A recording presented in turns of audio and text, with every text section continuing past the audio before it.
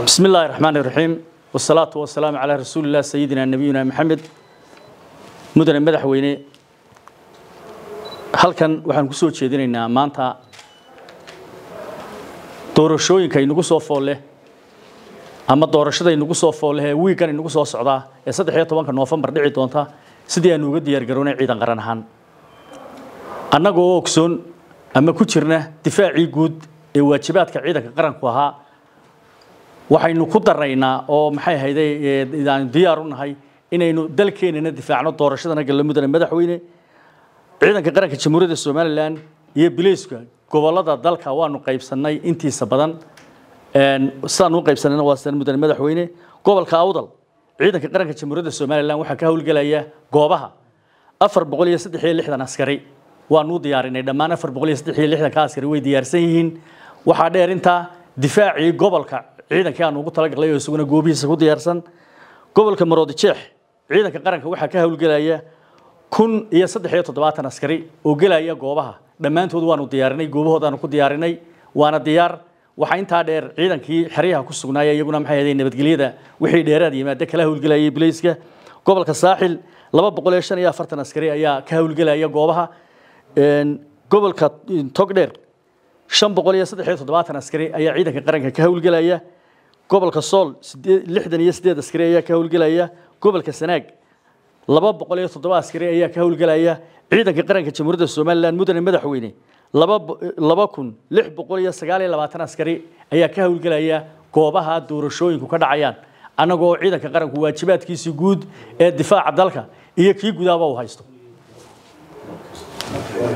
Bismi illaahi araxmaani iraxiim madaxweyne horta waa ku soo dhoweynaynaa maanta haddaad noogu timi sidaanu ugu diyaargarownay ilaalinta nabadgelyada goobaha labadayada ciidan ee ciidanka qaranka iyo booliiska aad halkan nagu soo booqatay waa soo dhoweynaynaa waana arrin loo baahnaa. Taliyaha guud ee ciidamadu inuu la socdo howlaha ciidamada. Markaan kaaga warramo ciidanka booliiska wuu u baahan yahay inuu goobaha doorashooyinka horta ciidanka booliiskaa leh goobaha ilaalinta nabadgelyada goobaha wuxuu kaaliyo ciidanka qaranka iyo ciidamada kale markay u baahdaan. Maanta waanu u baahanay. Waayo ciidanka booliisku marka uu magaalooyinkii ilaalinayo dhammaan saldhigyadii booliiska kiisaskii la baadhayay ilaalintii hay'adaha dowladda ilaalintii hay'adaha ajnabigaa ilaalintii expatriatka ama goobjoogayaasha caalamiga ah ee doorashada u yimi way ku ballaaran tahay hawshii ciidanka booliisku inuu keligii daboolo. Sidaa awgeed lagama maarmaan bay noqotay ciidanka qaranka inuu la qaybsado ilaalinta goobaha codbixinta magaalooyinka gudahooda iyo dabadoodaba. Halkan waxaan in kooban kaaga sheegayaa goobaha ciidanka booliisku magaalo kasta ka qaatay. Ilaalinta nabadgelyada goobaha ciidanka. Gobolka awdal waxaa ciidanka booliisku goobaha uu qaatay waa saddex boqol ciidanka ka howlgelaya waa saddex boqol toddobaatan iyo sagaal ee goobaha loo diraya.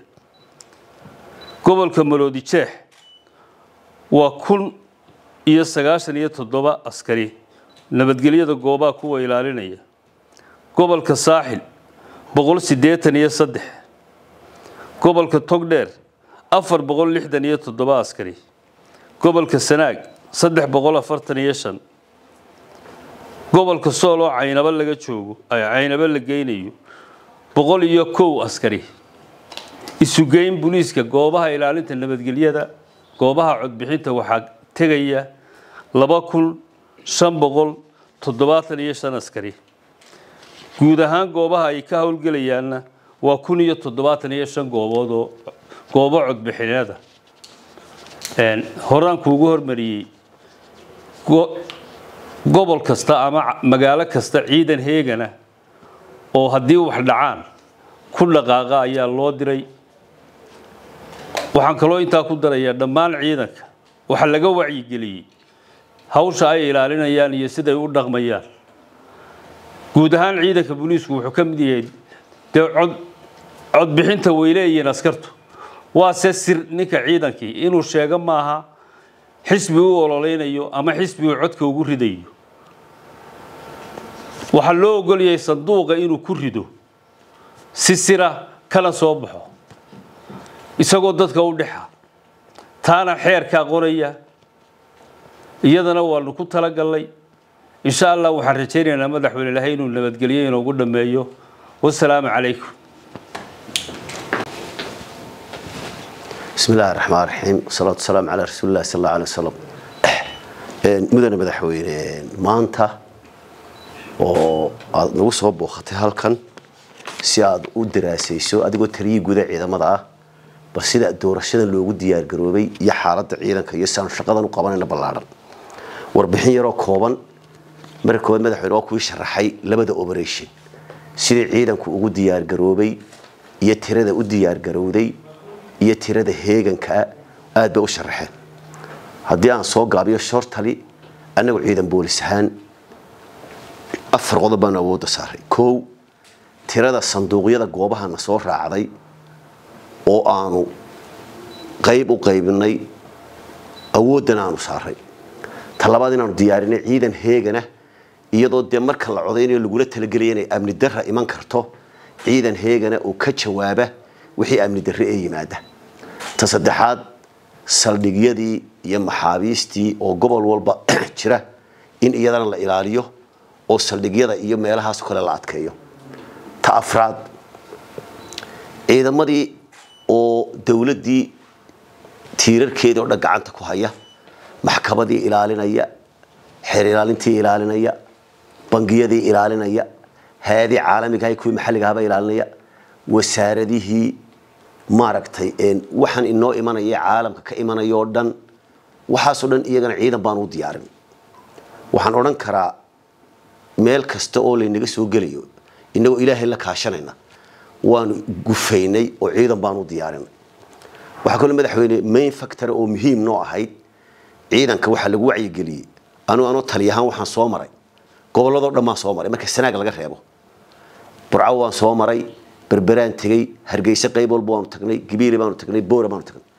Ciidanku waajibaadku xaqu leeya inuu guto uu xeerku ogol yahay adiguna aada nagula dardaaranto ayaanu ku amaray ciidanku sidiisaba waa dhex oo ciidamadoo dhan baa dhexa inay doorashada waajibaadkooda qura qabtaan si dhexa u qabtaan sanduuqa ilaaliyaan amniga goobta ilaaliyaan wixii dul imanaya ka ilaaliyaan wixii gudaha ka qashqashay ka ilaaliyaan askarigu markuu meel ku ridayana inuu sanduuqa intuu galo cidduu doono ugu rido oo askarigu dhex ahaado marka horena calankii qaranku halkaa ku sitaaye uu waajibaadkiisa guto ayaa madaxweyne aanu ayaa ciidanka hore lagula dardaarmo psychology ahaan.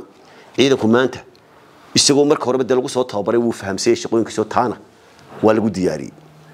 Guud ahaan madaxweyne doorashadii sanduuqiina waa u diyaarsanay amnigiina waa u diyaarsanay ciidankiina psychology ahaan waajibaadkiisa inuu si saxa u qabsado iyadana waanu diyaarinay waxaa kaloo aan kelmad yarun ka odhanaya annagu boolisku dee magaalooyinka o dhan sidii uu obereshinku sheegayna maadaama doorashadu ciidanku boolisku ay dheeraad badani jiro milatarigu aad bay noo caawiyeen oo markaanu isla eegnay qayb waanu isla eegno qaybtii ugu qayb weyn bay iyaguna qaateen. Dadweyne waxaanu u jeedinaynaa amnigaa muhiima qof walowba noocaa doonaysa ahaw ama xisbi ahaw ama ganacsade ahaw ama dumar ahaw ama rag ahaw doorashadaa waxa yar inooga hadhay. Waxaanu dadweynaha u soo jeedinaynaa inay si wanaagsan oo akhlaaq loo amni ku jiro oo amniga iyagoo nala ilaalinayaan oo codeeyaan. Waxaa kaloonu u soo jeedinaynaa hadday wax yimaadaanba ciidanku reaction buu samaynaya wuu ka jawaabaya inay ciidamada la shaqeeyaan oo ciidamada isgarab taagaan oo qofka amniga xumaynaya ay nala qabtaan oo isgarab taagaan. Ciidanku wuxuu u diyaarsayoo kale oona amarha lagu siiye doorashadaa cid kastoo isku dayda inay qashqashto ama cid kastoo isku dayda inay amni samayso inay gacmo adag ku qabtaan oo ay si adag u ilaaliyaan oo amniga public orderka si adag loo ilaaliyo. Intaasaan madaxweyne ku soo gabagabeynaya. Ilaahay noo guuleeyo doorashaa fooda inagu soo haysa. Ciidanka qaranku wuxuu doorashada qayb ahaan u helay laba kun lix boqol iyo labaatan iyo sagaal askari ayaa ka howlgelaya ciidanka qaranka. Mudamada ciidanka qaranka waan horta doorashada guud ahaan waxaa lahaa gudaha arrimaha gudaha waxaa lahaa booliiska. Maadaama ay ka bateen goobaha booliiska booliisku wuxuuna weydiistay markaa inaan caawino dabeetana waan caawinay intaasaa nagaga soo hagaagtay caawimadii ciidanka waan wacyigelinay waxaan oguna doorashadani tii hore way ka yar xanaf badan tahay. Axsaab baa ku tartamaya. Madaxweyneyaasha kasakow axsaab baa ku tartamayo axsaabtaasi iyaguna inay isreebaan jecel yihiin. Haddii doorashadaasi noo haagto somaliland meel fiican bay gaadhaysaa haddii ay naga xumaatana wax badan baa inaga dhacaya. Waxaan u qaybana waxay u taagan yihiin iyagu. Calaamadda halka ku sitaan waxay u taagantahay baan ku dhaadhicina inuu madaxweynaha cidan ahayn aanu qaadan karno calaamadda ah oo madaxweyneho taliya ciidanka. Ah laakiinse dablaheenu qaadan karo maxay qaybaheegu tahay? Calanka iyo ciidda iyo dadweynaha iyo u taagan tahay. Waayo dablaha waa qaadanaya wasiir ma qaadanayo cid kale ma qaadanayso wax aan ciidanka hayno nala qaaday madaxweyneho taliya ciidanka ayaa nala qaadanaya sidaa darteeto inay waddanka ilaaliyaan codka cidday doonaan ha siiyaan iyaga u taalla. Laakiin inay waddanka ilaaliyaan waan ka dhaadhicinay oo calaamadday u taagan yihiinna ciddii ilaahay soo saarana dee inuu taageero salaantana siino taageero ayaanu laakiin waddanka iyo dadku inay ammaan ahaadaan xaq waxaa loogu leeyahay dadka shicibka inay codka bixiyaan. Laakiinse loguma xabad looguma iyo dagaal xaq looguma laha ilaahay ba waxaan ka rajaynaa ilaahay sida wanaagsan ina waafajiyo ciidamadu way wacyigelin yihiin. Sidaasaanay aan ka dhaadhicinay intay aan gaadhnay badi ah horena taliyaasha ka dhaadhiciyey inta kalena anaabaa wada maray. Mudan madaxweyne diyaar baanu nahay. Ilaahayna waxaan ka rajaynaynaa sidaa aan ilaahay ka baryaano in nabadgelyo inoogu dhameeyo inta hore iyo inta dambaba alxamdulilah rabbilcaalamiin si aad sheegteen maanta waxaynu u diyaargaroobeynaa doorashooyinkii. Waa laba doorasho way hawl badan yihiin mid waxaa xisbiyada tartan ku jira oo culays soo kordhay tii madaxtooyena way joogta. Maanta dalkeenu cadow badanna wuu leeyahy marxalo adagna wuu marayaa. Gobolkan aynu deganahayna dagaalo badan baa ka socda. Bariga dhexaa waa aragtaa. Yaman waa aragtaa. Adduunyada waxaad inay aada iyo aada iminka ugu badan yihiin dhibaatooyinka iyo falqalaladu sidaa darateed waxaynu u baahannahay horta in loo midoobo midnimada qaranka difaaca qaranka iyo doorashooyin nabada.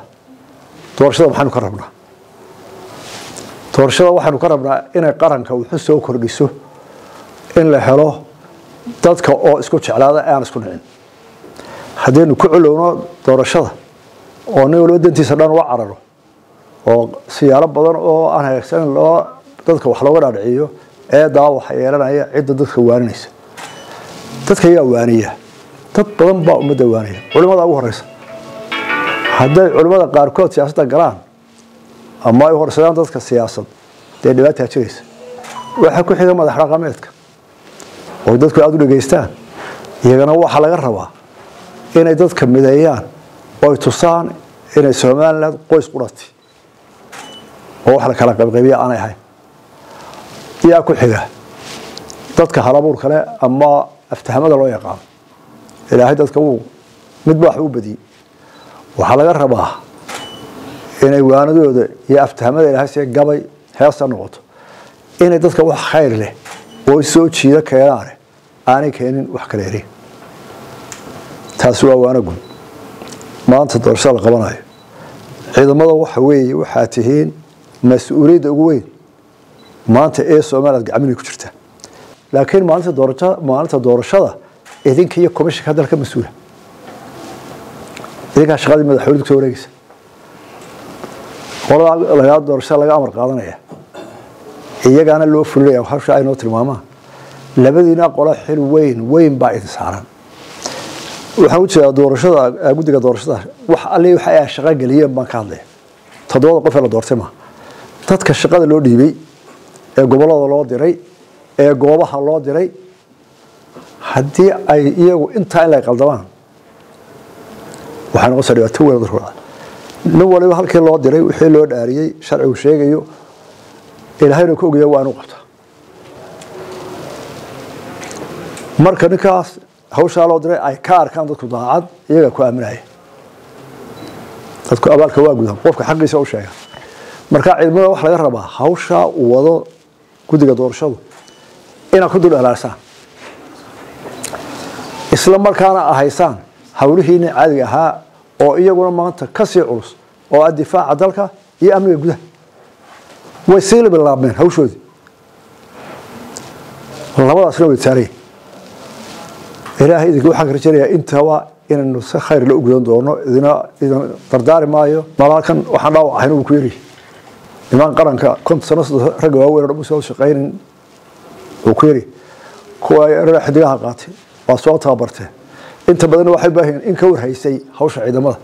Ama ciidamada dhalay ama way u dhawaayeen ama wixiisa qabeenoo iyagaa jeclaaba. Kolka dardaaran merehdina waa la xusuusinaya labada hawlada culus ayaa inoo taagan. Waan ku kalsoonahay inaad fulinaysaan markaa waxaan dardaaran gaar iyaga u sii jeedinayaa in ay aada iyo aada uga taxadiraan. Dadka shabeelka wada shaqeynaya. Inay dulqaad badan muujiyaan qolada boliisku iyagu waa dee laba ka dhexeeyo dhanna waa ka ciido dariiskaystaa dhinacana shicibka ku dhex jira waa shicib sii shiciba iyagu markaa waaye argamadir maanta iyana ha noqoto tu wax tarto oo aad aada iyo aada uga faa'idaysaan midnimada iyo nabadda qaranka ciidamada waxaa loo samaystay waa nabadgelyo. Meel walba nin dambiilaa jooga nin waxduminayaa jooga. Wax laga wax laga argixan maaha dagaalka iyo nabadda raaxada iyo dhibtu nolosha ka mid.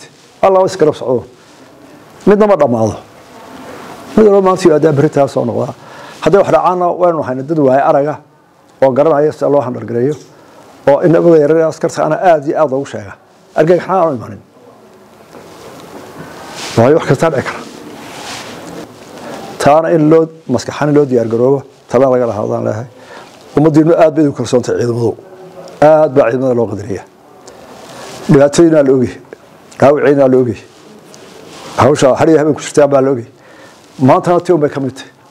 Xoogaan baanu ahay intay shaqeeyaan dadkoodu kalsooye maanta dardaari mayno laakiin waxaan is xusuusinay oonu isu sharaxnay hawshu intay laag tahay iyo sida loo qabanayo. Tartamayaasha siyaasadda ee daneeya ama ha sharaxnaado ama ha taageero ama ha ada kuwa jaraadka analyska faalada raadiya qora waxaa laga rabaa laga bilaabo wiigaa doorashada bilaabayso dadka wax dhiirigeliya oo walaaleeya oo mideeya uun in la wado mooyaane inaan wax fadqalala xaggaa dadka maskaxdooda laga abuurin aada iyo aad baan ku mahadnaqayaa sida wacan oo diyaar garowdeen ilaah idinkii waa ku guulaysanaynaa doorashaduna tu khayr leh oo soomaalka hormarteen ku dhammaan doonta sidaas ilahay ka rajeyna waana mahadsantiin